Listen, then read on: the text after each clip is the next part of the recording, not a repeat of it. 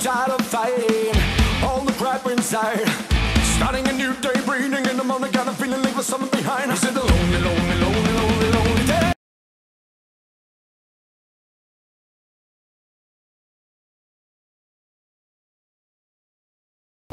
In this tutorial, I will be showing you how to take this mechanical pencil and turn it into this really cool gun that's cheap, easy to make, and it's under $3, and it's safe to use in school depending on what materials you use. To start, you're going to need a few materials to get started. Uh, that'll include a Bic lead pencil with the clips. Um, you can you're going to need some rubber bands, so I have a rubber band ball, or you can use rainbow loom bracelets. Either one's going to be fine. You're also going to need a knife. The knife's going to be for cutting certain things on the pencil. Or, if you want to be on the safer side, you may use a multi-tool. I have a Gerber multi-tool, which I love to use for almost anything. So either one will also work. Uh, be on the safe side and use both.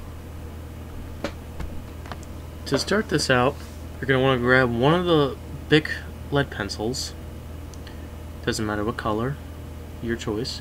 You're going to want to remove the eraser and remove all the lead that's inside. This will save the mess later. Now you will find there may be two or three in the, the little tube, but you'll also have to click it once or twice to pull out the final piece. There should be about three or four, not sure, depends. Check there's nothing in mine. You can replace the eraser.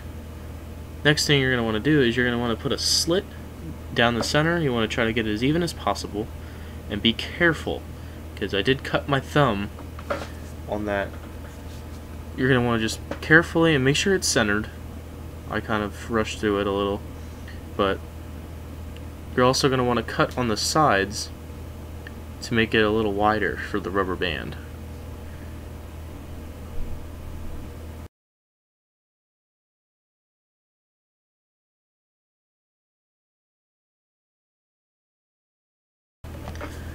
This will do. Like I said, this will be for the rubber band so it fits better. Clean off your table. Let's proceed to the next step here. Next thing you're going to do is you're going to want to remove the cap to the pencil tip. And you're going to want to break off that piece there on the top. You can either cut it like I am, or you can snap it off on the table. I just like cutting it because it's even. Once you remove that, clean off anything that's on the table there. Just keep everything clean. You're going to remove the, the black piece and you're going to want to cut off just the tip of it, the thinnest part of that, the bottom there. Make sure everything's broken off. Clean off the table. There's something inside the tube. You're going to want to remove that as well so there's no movement inside the tube.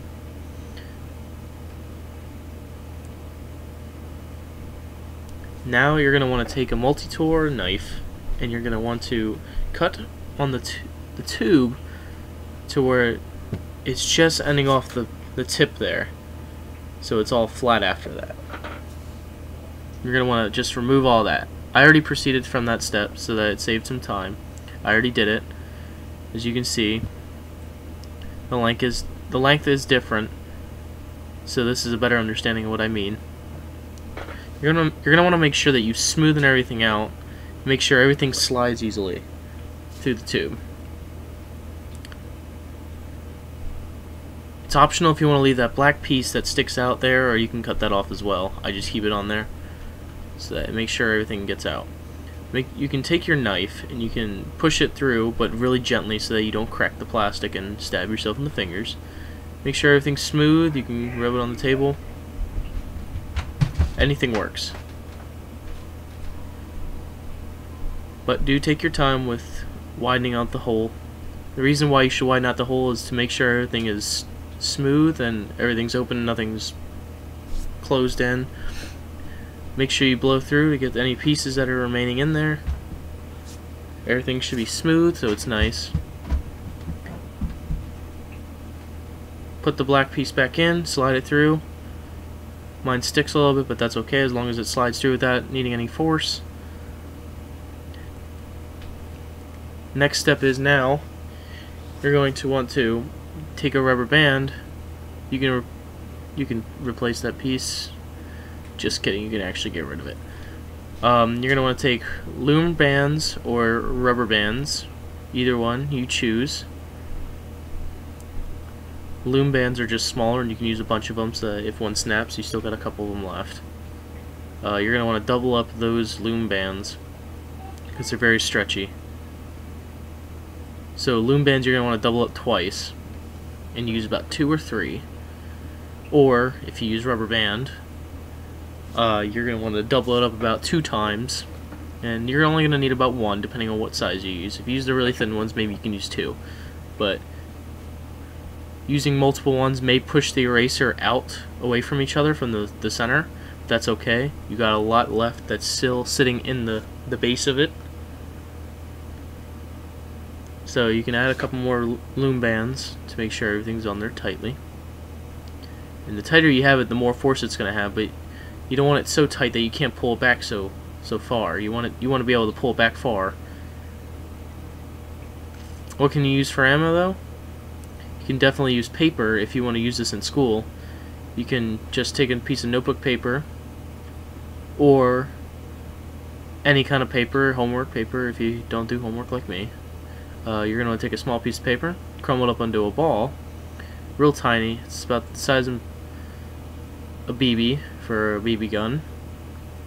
You're going to pull the the piece back so that it opens up the tube. Stick it in and shoot it.